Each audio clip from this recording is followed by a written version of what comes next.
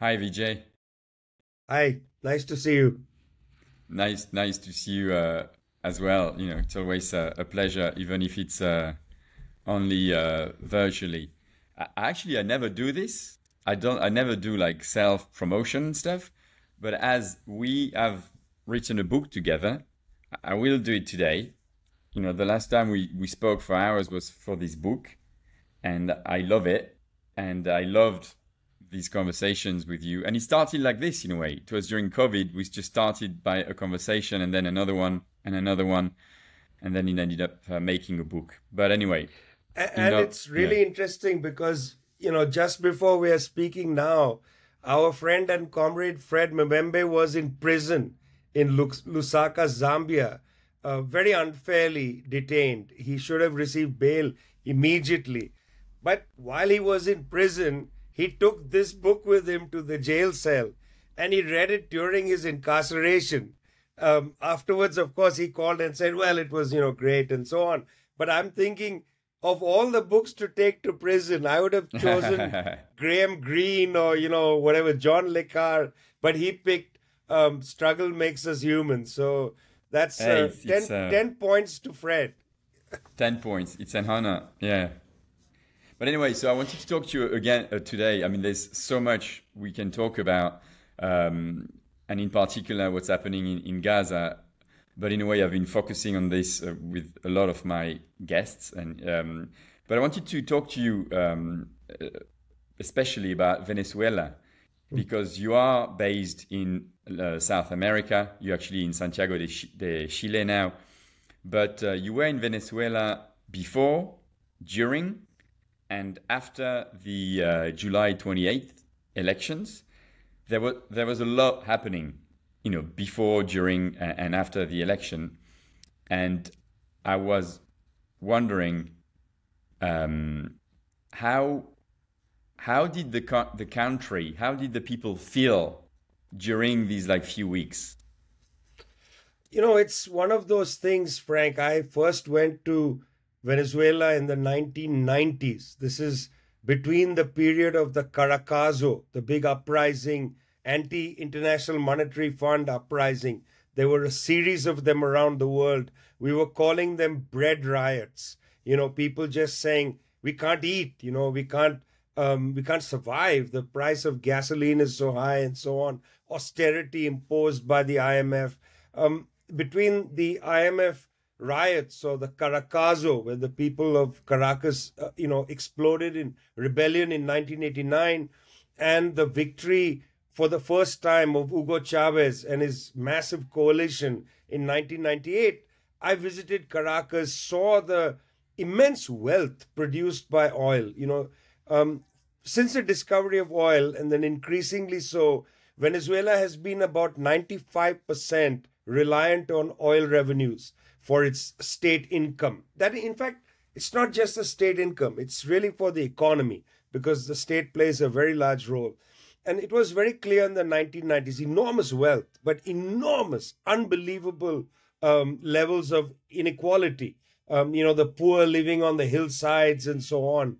Well, it is exactly that that that Hugo Chavez appealed to. He appealed to the people living in the hills, the outsiders, um, the people who had been left behind in the great oil rush. You know, an earlier oil minister, um, Perez Alfonzo, wrote a book where he talked about oil as the devil's excrement, you know, the shit of the devil, uh, because it produces wealth and inequality in equal measure.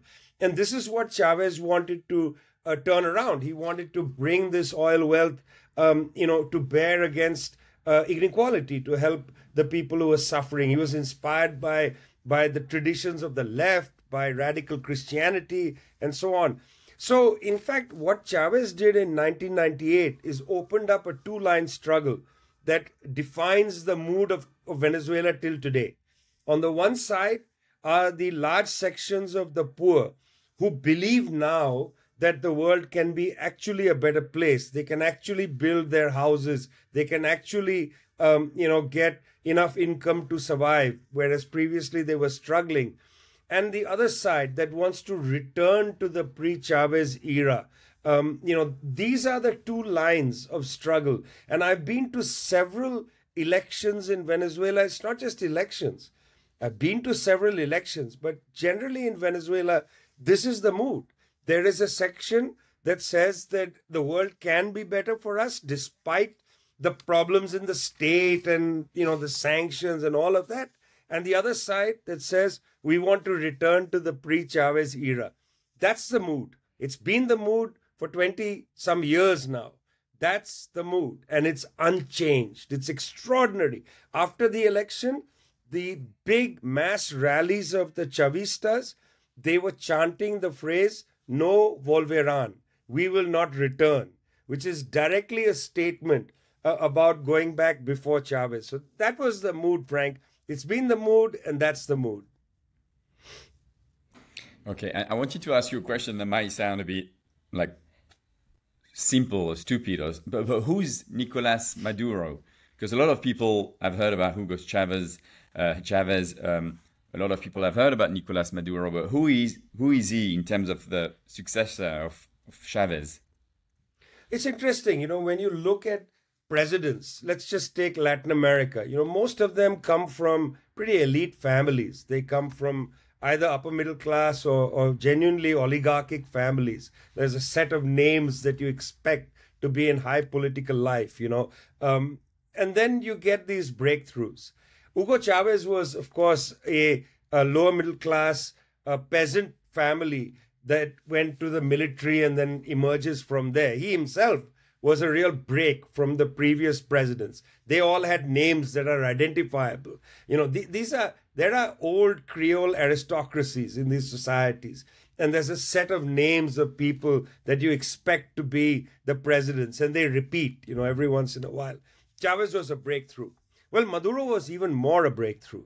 Maduro comes from a working class family, was a bus driver, um, goes into left politics as a young person, becomes a trade union leader, uh, you know, in the bus drivers union and he comes before Chavez as a real um, force of nature. You know, Chavez saw him as somebody very reliable, interesting, and so on. And he made him his foreign minister. So during most of Chavez's tenure as president, Nicolas Maduro was his foreign minister. And I remember him in that role, um, struggling, you know, in effect to balance a very difficult situation in the world because um, in most of this period, Mr. Chavez was under attack. You know, there was an attempted coup, which actually took place for several hours in 2002. Maduro was holding the ball.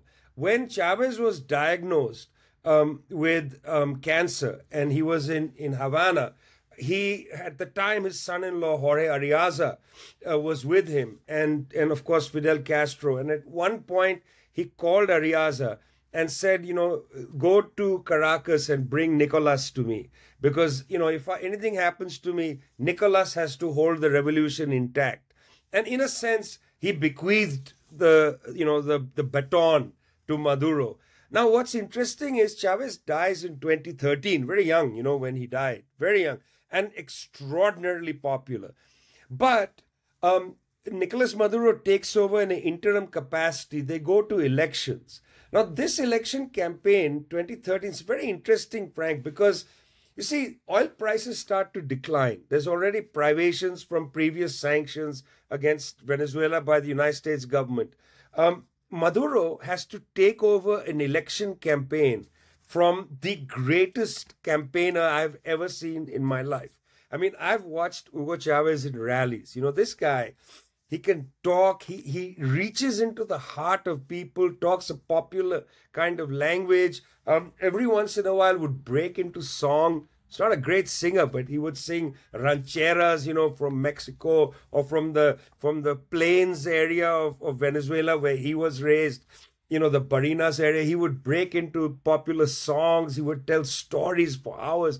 Um, he would explain things about cattle and about their breeding cycle. You know, he was a peasant leader. He understood that. He was also extraordinarily well read. He knew the life of Simon Bolivar, Simon Rodriguez. You know, he knew the lives of the founders. So he would, at great length, in these campaign rallies, talk about, you know, this is what Bolivar wrote to his beloved wife, and he talk about a letter. to take over from Hugo Chavez, Frank, it's uh, you know, it's like it's like when John Lennon died in the Beatles. Frank Barat was invited to take over lead guitar um, in the Beatles. I mean, I don't know how well um, you would be able to fit in John Lennon's shoes, but to follow Chavez is extraordinary. That itself is extraordinary. Secondly, the oil price problem. Now, he goes into the presidential can- ca- campaign, and it was extremely tight. Mr. Maduro won 51% of the vote. Uh, Capriles, Henry Capriles, the person for the opposition, won 49. It's extremely tight. When I saw that result, it became clear to me, um, this is in 2013 14, that that's about the base of the of the Chavez movement. It's roughly 50 plus 1. 51 maybe 52%. That's that's where it is because these are the hardcore Chavistas. These are the people who are darker than the rest of the country. They're shorter than the rest of the country and they are poorer than the rest of the country and they are devoted to the Bolivarian process. It's very difficult to get less than 50%, you know, for, for, for, for a Chavismo process, e- even though the privations are immense. Um, and Mr. Maduro, therefore, from a very difficult standpoint, had to hold on to the reins of this process. The attacks by the United States became more ferocious, including against him on his life, and oil prices continued to decline. And because oil prices declined, the physical plant of their infrastructure also declined. And you might be surprised to know that Venezuelan oil is processed off, offshore, which means they have to export crude and import uh, petroleum. That means that even though they are a petroleum rich, uh, oil rich country, crude rich country, they have to actually import petroleum. So the burdens on the exchequer are enormous. And despite that, they have struggled to survive. And I, I really, sometimes I don't know how they did it. Who is Nicolas Maduro? He is the successor of Hugo Chavez. Was that a job he wanted? I don't think so. I don't think anybody wanted to be the immediate successor of somebody as charismatic and extraordinary as Hugo Chavez. So now, now that you've told us who's Nicolas Maduro, who is his opponent, um, Edmundo Gonzalez? Where is he coming from? You know, who is he? Well, he is not the opponent. Um, he is the marionette in a way. The real opponent is Maria Corina Machado, uh, Maria Corina Machado is a woman of the far right. Uh, this is, and, and you got to understand, the far right in Venezuela are really right wing. This is the oligarchic far right. This is not really the new right. You know, this is not um, young people who go to university, who read, you know, Friedrich Hayek or who read Milton Friedman, who are converts to this stuff. She comes from a rich old family and, you know, from the beginning, she opposed Mr. Chavez for, for a number of reasons, but principally because he expropriated wealth of the very rich people, sections of the wealth, not all of it. Um, and also, he fully uh, privatized the oil company. So, Maria Corina Machado, from early on, has, because she knows, you know, they know, these people know that there's no way to get above 50% for somebody like her for a couple of reasons. But one of them is she's known for a long time that the Chavez movement is deeply popular. There was a very special moment in the National Assembly where she stood up and she challenged Hugo Chavez to a debate. You know, this is when she was a younger um, uh, congressperson in the assembly. And she challenges Chavez to this debate, and Chavez responds saying, The eagle does not debate the fly. You know, I mean, this is um, the understanding of interesting about the right in that kind of society where this big um, you know uh, constituency has been built is she knows that the right wing just can't win above 50% and the re- reason she knows that in 2004 so 2 years after the attempted coup against Chavez there was a recall referendum the right wing put forward a recall to try to recall Chavez and knowing that knowing very well that this was going to fail because he is extraordinarily popular um, right through his life. Knowing that this is going to fail, they started to talk about fraud. And they said before the election, they started to say there's going to be fraud. So this fraud narrative has come up since 2004 in every election. Um, every election, the right wing has has said there's fraud.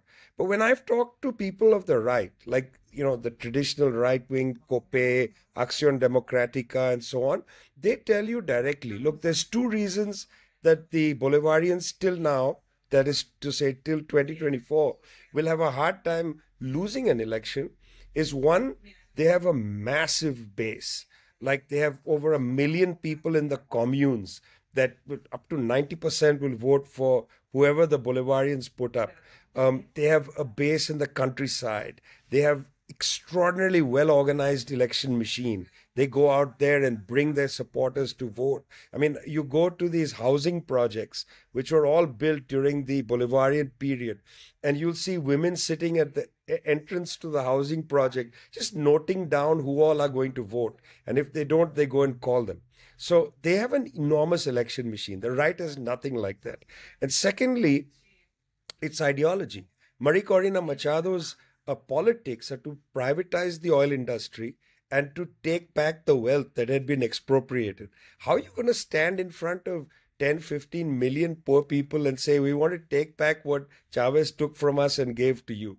So, for these reasons, the right just cannot win. Well, Maria Corina Machado herself uh, was going to run in the election. But because she has openly talked about US intervention, she actually became a delegate for Panama in the Organization of American States all of this is illegal. She's a Venezuelan citizen. So they barred her from electioneering because she's she's committed treason, called for the overthrow of her government in a foreign intervention, and she took Panamanian um, diplomatic status to go to the OAS. So she was barred. So they found a replacement for her. It's Edmundo Gonzalez. He's an interesting character because he's a diplomat. They try to portray him as a grandfather. The fact is, A, he's super uncharismatic. Uh, but the next thing, and, and also detached from working people. I mean, whatever one thinks of Maduro, the guy is a master campaigner. I mean, he goes there, he plays the drums, he dances, you know, he does the things one has to do uh, in a in a campaign, in a kind of democratic campaign. He goes among the people, he hugs everybody. Gonzalez is is much more patrician, you know, in his physicalness.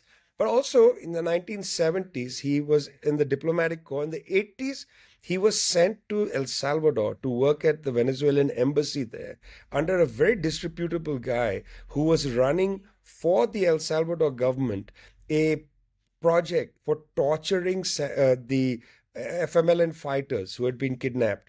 And one woman, Nadia Diaz, recounts being tortured in a prison and there being Venezuelan torturers in the room. Nobody knows that Edmund Gonzalez personally did this, but he worked in that project. So these are disreputable people, the people of the right. They're not liberals, okay? So let nobody believe that this is like socialists versus the liberals. This is the socialists versus the hard right. Really disreputable characters. So, I mean, listening to you, um, the opposition said that it got it got more than 8 million votes, which would be more than what Chavez got in 2012. Does this number make any sense to you? Well, it's interesting. So, before the election, the election took place on Chavez's birthday, which, you know, I think is a little unfair to the opposition, but it's another day in the year.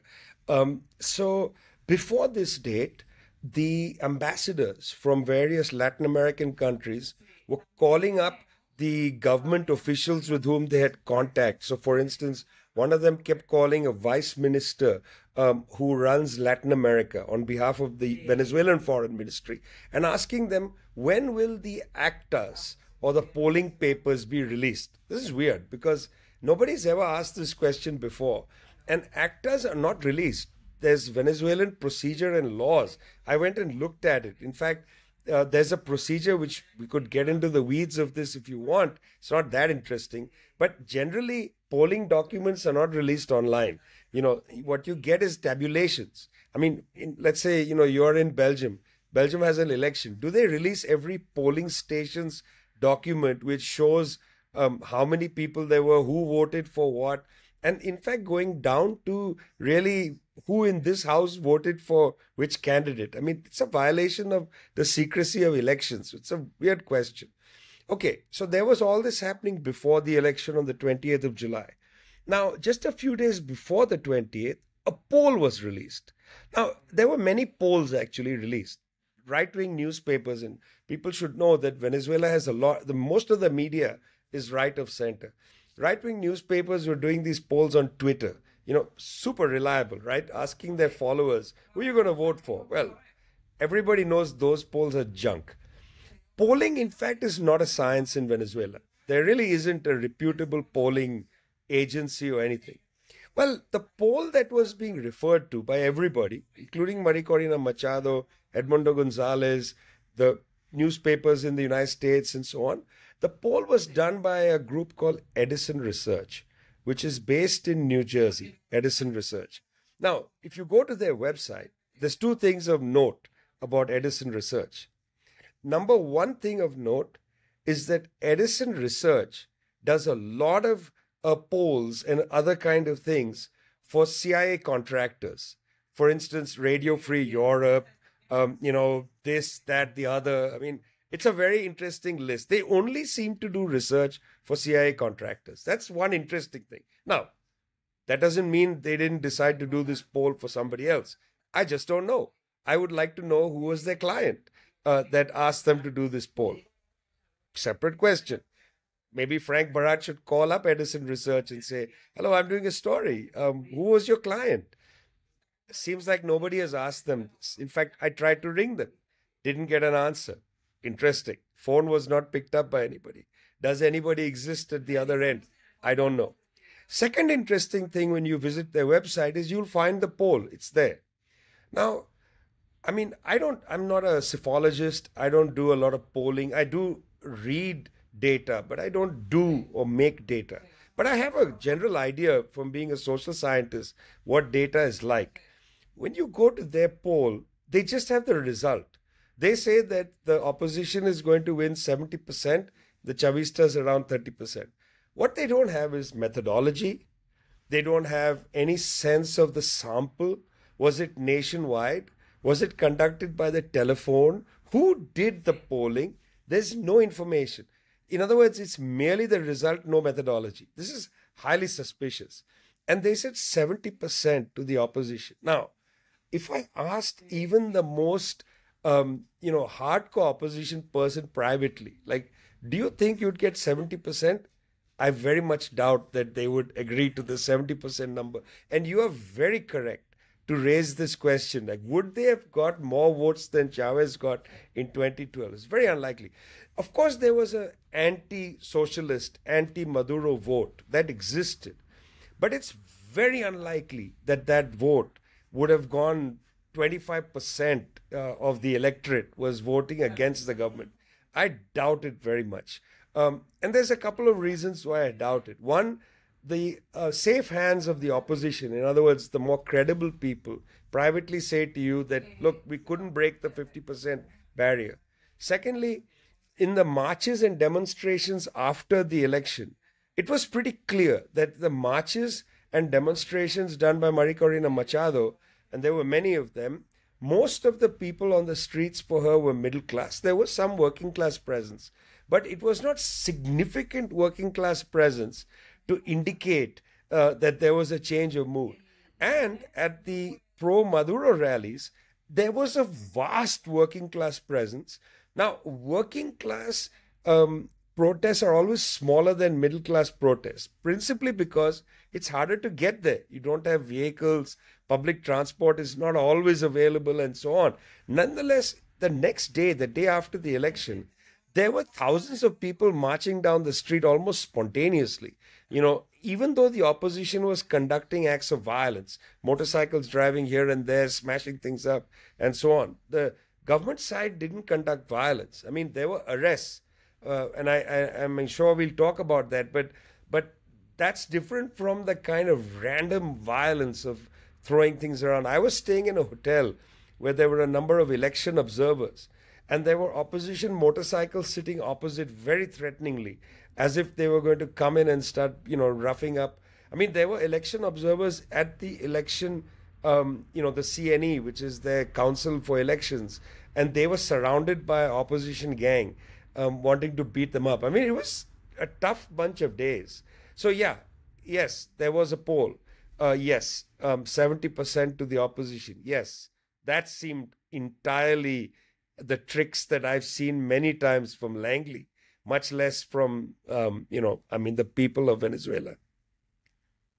So, what is um, US Secretary of State Antony Blinken talking about when he said very quickly, a few days after the election, that there was overwhelming evidence that Gonzalez won? What, what evidence was he talking about? And in a way, I'll put the other question right next to it and historically, why is the US? Why does the US seems to be so interested in Venezuela? You know, are they like um, you know, neutral observer in the region? Well, let's go to um, the evidence. So you know, there. Look, every country has its procedures. Now you can you can debate the procedures. Venezuela, there's a procedure. Um, there's a you know electoral council. They have their own um, set of things that they do you can actually go to the council as a political party and make an appeal. Other parties did, not the opposition. They decided not to. Um, you know, the Socialist Party went and they presented their evidence, and that was an internal review by the election body. Now, when there was more questions asked, uh, Mr. Maduro personally went with the, on behalf of the Socialist Party to the Supreme Court of Venezuela and asked for an investigation the opposition decided to boycott the court. Now, I understand the Chavistas have been in power since 1998. I understand that. The Supreme Court, you know, is ma- basically mainly nominated by the Chavistas. It's going to have an orientation like that. I understand that. But if you look at the biography of the judges, they've all had a career that spans from before the Chavez movement takes power. These are people with long histories. They are not, you know, like sort of just sort of activists who are on the court. These are jurists. Okay, and then they eventually looked at the evidence. By the way, the opposition boycotted it. They looked at the evidence and they said, well, the election is looks fine, and they certified it for Mr. Maduro. Now, you know, for the United States to talk about elections and the Supreme Court is extraordinary because you may remember there was a court uh, case, Bush versus Gore, where George Bush was running against Al Gore the election was tied up around Florida. And rather than allow the US people to decide, the US Supreme Court picked the winner. So it's a bit rum for United States to say, you know, why is the court getting involved? Oh my God. The US Supreme Court has gotten involved in elections more than that one occasion. Now, initially, of course, the United States was very interested in Venezuela because of the oil. Um, that was the interesting thing. It has one of the world's largest reserves of crude oil. US doesn't need this oil for itself. It's a net exporter of oil. But Venezuela's volume helps to control oil prices. It helps to control who gets uh, oil for what.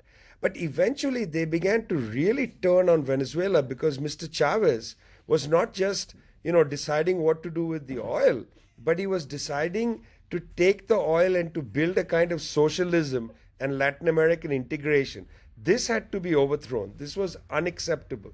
Okay, so that's what was happening then. Eventually, they felt that this is a communist regime, it has to be overthrown like Cuba. Um, there was John Bolton during the period of Donald Trump who said this is the um, axis of tyranny and it has to be overthrown. He was talking about Venezuela, Cuba, and Nicaragua. That was John Bolton. Um, okay, that was that period. You see, now it's an interesting story because now it's not just about Venezuela and the United States, it's about Europe. Um, you know, and this is, I think, interesting to, to people who may not have understood this well. Europe is in a real crisis. The United States, by its own policy, and I think the French participated in one of these, um, the US policy cut Europe off from its three main oil and natural gas suppliers. First, it was Iran where the United States forced essentially the break with Iran, sanctions policy 2006. Then the United States goes and destroys Libya with France in 2011 and NATO. So Libya, which was a principal supplier of oil, offline and continues to be offline.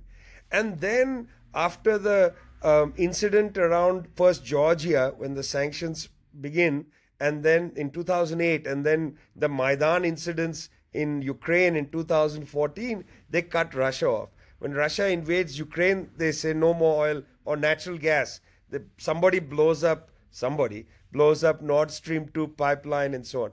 Europe is desperate for energy. Um, the United States has substituted um, Russian, Iranian, and Libyan energy by providing liquefied natural gas. Super expensive, much more expensive than pipe gas from Russia.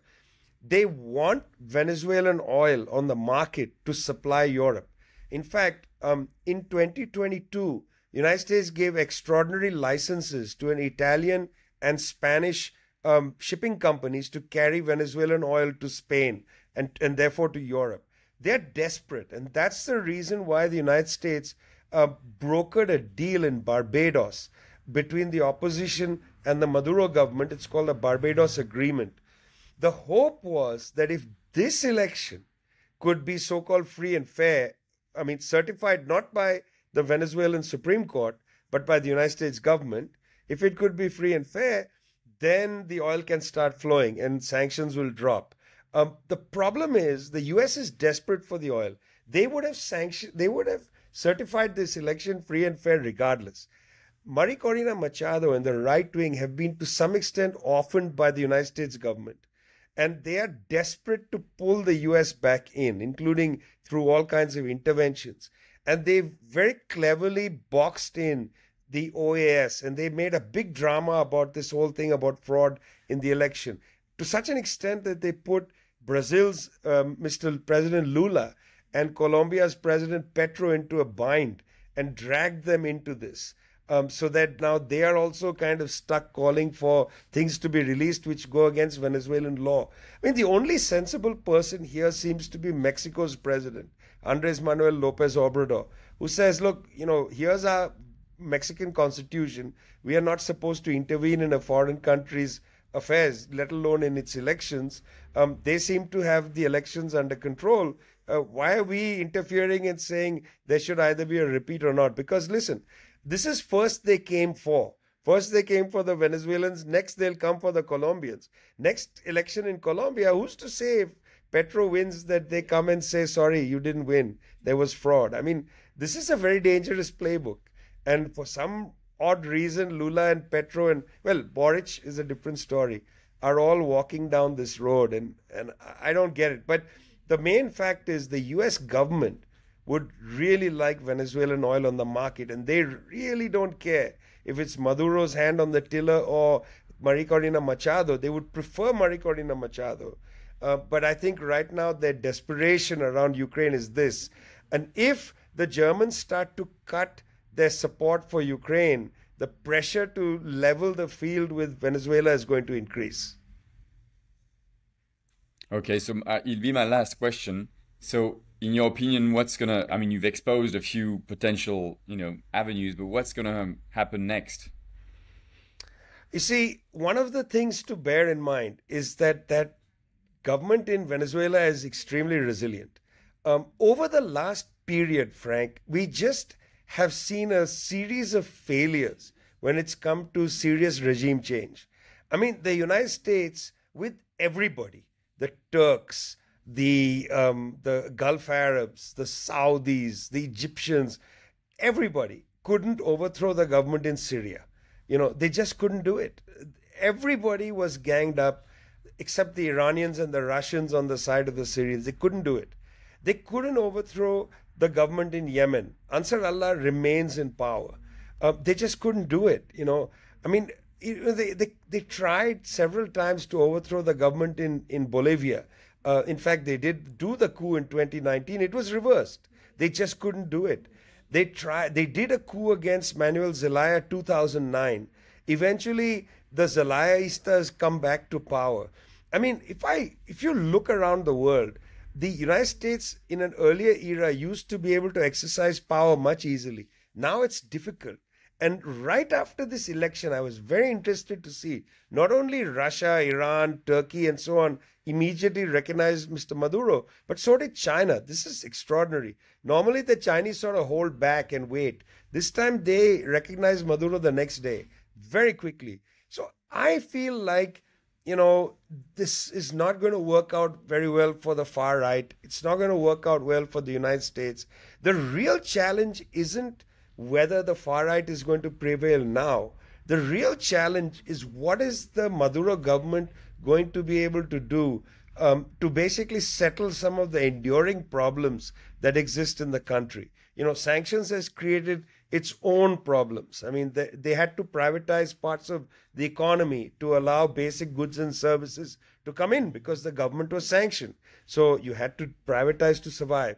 But now, what will they do? You know, how will they use whatever income comes in from the selling of oil uh, to change the balance of forces in the country? I mean, Mr. Maduro's job is not going to be made easy whether he wins or not. You know, he personally is an extraordinarily nice person. Um, nobody wants this job, Frank. Nobody wants to be at the helm, you know, the, the figurehead being smashed by the US government, you know, calumniated in the world press, called a dictator. Nobody wants this, you know, especially not somebody like that. You are stuck with it. I mean, he was given this in a very difficult inheritance by Hugo Chavez, you know, but he is stuck with it. And he is going to have to figure out how to actually assist his base who are struggling. Um, you know, the right wing wants to say they are struggling because of corruption. The left says they are struggling because of sanctions. Nobody is disagreeing that the people are struggling. How they're going to have to come out of this, I think, is a real challenge for the government. And and let's see what happens, Frank, because I don't think the government is going to fall now. I don't think the right has any mechanism. I don't think the United States is willing to militarily intervene. They, they're waiting for Iran to respond, um, you know, uh, in one way or the other in the Middle East. They're still ramping up pressure in China. They're still refusing to allow peace in Ukraine. I doubt they want another war uh, anywhere in the world, let alone in Venezuela, where, where they would have to fight street by street because there are six, eight million Chavistas who are going to, you know, throw their garbage at the marching U.S. troops. They're not going to allow them uh, an easy run. So this is going to be complicated. And, you know, for people on the left, I would just like to say directly that I understand, you know, people have all kinds of critiques of Mr. Maduro and whatnot of the Venezuelan process. But I'd like you to know quite plainly that if the United States succeeds in Venezuela, the Cuban Revolution is in deep distress. Uh, so don't imagine that you can somehow be, you know, for the Cuban Revolution, but you have mixed feelings about Venezuela. There are there is a global balance of forces, and let's not be naive about this. Thanks, Vijay. As Thanks usual. a lot, Frank. Thank you, Looking comrade. forward to having a beer with you at Manifiesta. Oh, yeah. Okay.